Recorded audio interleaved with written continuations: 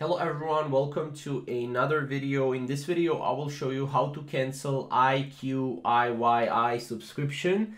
Now, this is a streaming platform um, that is basically the most popular in Asia. Uh, but as you can see, if you're on this video, probably want to know how to cancel it. So uh, first thing, if you did this uh, or if you've subscribed to their subscription on your mobile devices or maybe iPhone, this is how you can cancel it on iPhone. So you need to open the settings app tap your name and then tap subscriptions and from there you'll be able to go and cancel subscription. Now however this will be the same if you're doing this will be different actually if you're doing this on your um, you know on your device. If you're doing this on your device which is like a computer or a laptop you will need to go to uh, the app and then you'll be able to go and cancel your subscription right there.